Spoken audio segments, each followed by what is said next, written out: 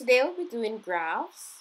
We'll be graphing a quadratic curve, which is 2x squared minus 3x minus 4. We need a table in order to graph this. So the table is going to be from negative 2 to positive 4. We usually give you a range, and this is my range. And I'll be substituting x values into the quadratic to get the y values. So let me start with negative 2, replacing the variable x squared and x with negative 2. So I have 2 open bracket minus 2 square minus 3 and replace for x. So I have minus 3 times negative 2 minus 4. So two, negative 2 squared is positive 4 times 2. That gives us positive 8 negative 3 times negative 2, that's positive 6, take away 4. So 8 plus 6 minus 4, so my answer is 10. And that's my first y value, and we have it in our table. Now we're going to substitute negative 1, so I see x, I replace it with negative 1. Square the negative 1 to get positive 1 times 2 to give it 2. Negative 3 times negative 1, positive 3 minus 4. So when adding this and subtracting, get 1. So that's our second y value. Now we're going to substitute x equals 0 where we have x squared and x. So replacing those parts with 0. 0 doesn't affect it, so and what we're going to have is negative 4 for when x is 0. The next number is when x equal 1. 1 squared is 1. 1 times 2 is 2. Negative 3 times 1 is negative 3 minus 4.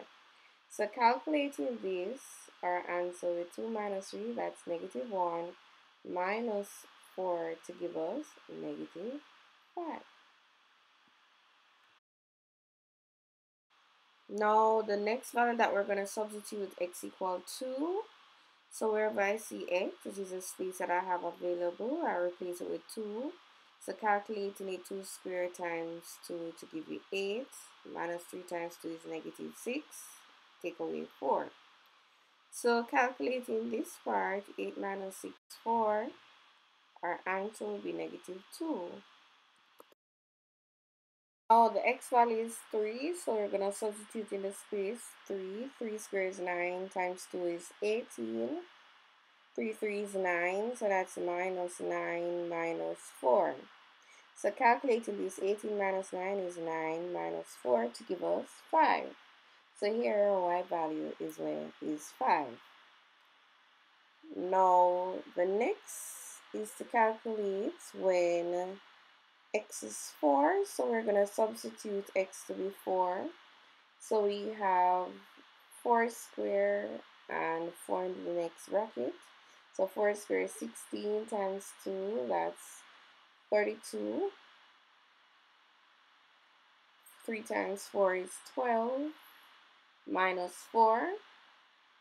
So calculating 32 minus 12 minus 4 so my answer is 16. So y value is 16. Now this is the time when we're going to plot the points that we have in the table. And this is a parabola where we have a minimum point. So once we have a minimum point, it means that the turning point in this case is below the x-axis. So here I'm showing the curve. It should be a smooth curve when you plot. So let us now look at plotting the points. Let's get into the graph. Okay. So this is the graph for 2x squared minus 2x minus 4. It's a parabola. When you have a, which is the coefficient of x squared being greater than 0, we have a minimum curve. So that means if it was a negative 2 in front of x squared, we would be seeing a maximum curve. Now, plotting these points is very simple. Based on the units here, this is saying in case 1 centimeter to 1 unit. you know, you would have give, be given a scale to work with in your exam, or sometimes you're not given a scale. Here, I'm plotting the points. The first point is negative 2 tenths. X is negative 2. Let me put 10. So you'd have carried your finger up to the point where this is 10, y equal 10. So this is the point of intersection where x is negative 2 and y is positive 10. x is negative 1 and y is 1. This is the point of intersection. X is 0, 0 and y is negative 4. So this is the next point of intersection x is 1 and y is negative 5. So this is the next point of intersection.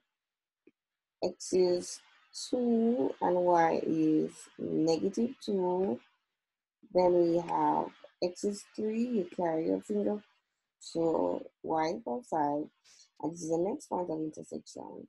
And finally, y, x is 4 and y is 16. So this is a parabola, and as you can see, it's a smooth curve. So that's what's expected when you're doing this.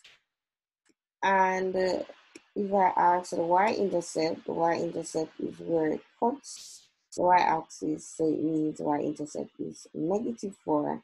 And this right here is our turning point. Now, here we have the graph, and we can be asked questions. Say, for example, you have the original curve, and we can ask to find it when it's equal to 2. So what we do to ensure it looks at the original curve that we plot, and it does. So we look at what's over the equal sign, which is 2. So it means we're going to draw a line y equal to, which is a horizontal line through the y-axis. And where it cuts the graph, we read off on the graph the x values, and that will tell us the solution for 2x squared minus 3x minus 4 equal 2. So here you have it where I'm drawing a line through the graph. So as you can see, I'm drawing a line through the graph. Here we have point of intersection where the graph is cutting through the green curve at two places. So we need to read off the x values on this graph. So where we have the point of intersection, we read off the x value on the x-axis. So in other words, here our x value,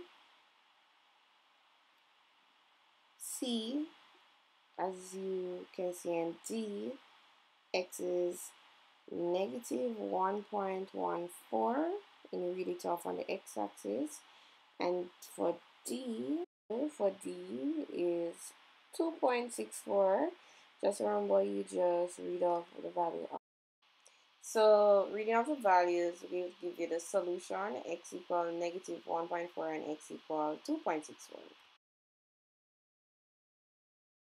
now we have minus 2 here instead of negative 4 equals 0.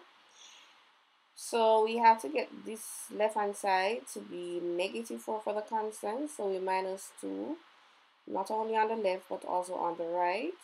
So what we have now is the original quadratic curve that we just have, which is 2x squared minus 3x. And then this is the negative 4 that we want, and it's equal to negative 2. Now we have the original curve. We can see this is y equal negative 2, which is a horizontal line through the y-axis at y equal negative 2. Now y equal negative 2 is a horizontal line through the curve that we have. As you can see, there are two points of intersection A and B. At the point of intersection, we can read out the x value. Here you're seeing x equal 2 while x equal negative 0.5. Just remember you read it off on the x-axis. And those are the solution for y equal negative 2 that goes through the curve. Now the next example that we have, we have it being equal to 0, but the minus 5x and the negative 1 needs to change. I need to add 2x, so I have the negative 3x, but I have to add 2x on both sides. Now the negative 1 needs to be negative 4, so what I need to do is now subtract 3 on both sides. You have to do the same thing on both sides.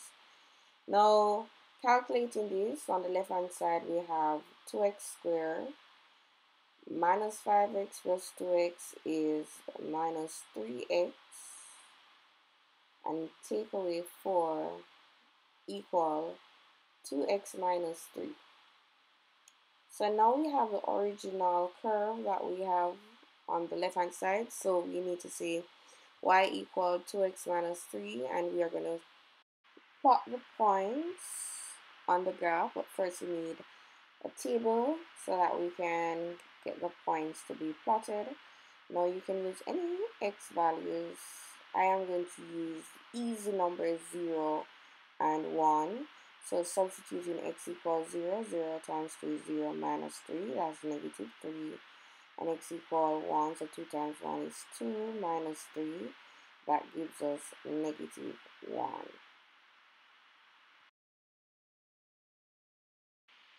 So plotting the points 0, negative 3, and 1, negative 1, as you can see the line intersect at two points. So whenever we are finding the solution, we read off the x-axis so the, two intersection I can basically find out what is my x value and here I'm highlighting the point of intersection so x equal 2.69 or 2.7 and here reading off x value we have x to be negative 0.19 and some places we see negative 0.2